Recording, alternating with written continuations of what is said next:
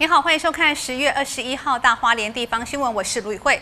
受台风外围环流气候影响，一大早鲤鱼潭下着大雨，而在全民运龙舟拔河场地，代表地主队的花莲县龙舟队是以强劲的背力划出最佳成绩，场面相当热血奔腾。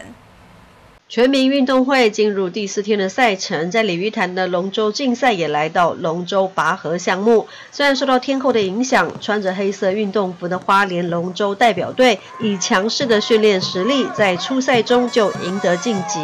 啊，第四真的很够啊！第四金拿下来，全部金我们都把它拿起来。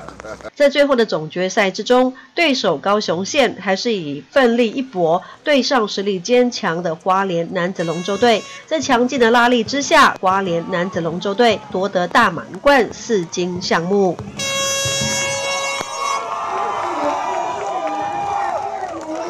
呃，最后我们拿到第一名。第一名，所以你们今年在全在全民运里面大概拿了几个？拿了四面金牌。哪四面？一一百、两百、五百，直到金数金牌，然后再加上今天的拔河，所以全部都你们拿走。心情怎么样？很开心啊，很高兴为花莲县留下这四面金牌。所以是大满贯。